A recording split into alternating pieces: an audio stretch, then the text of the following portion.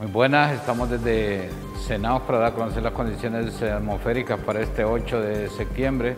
Se mantiene la probabilidad de lluvias, chubascos y tormentas eléctricas, especialmente en sectores de la región sur, suroriental, central, suroccidental del país. En el resto del territorio nacional se esperan algunas lluvias y chubascos leves.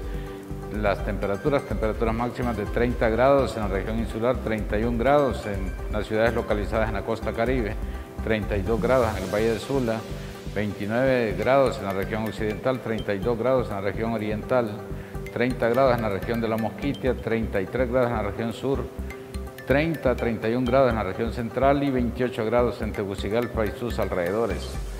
El oleaje previsto, 1 a 3 pies en el litoral caribe y de 2 a 4 pies en el Golfo de Fonseca.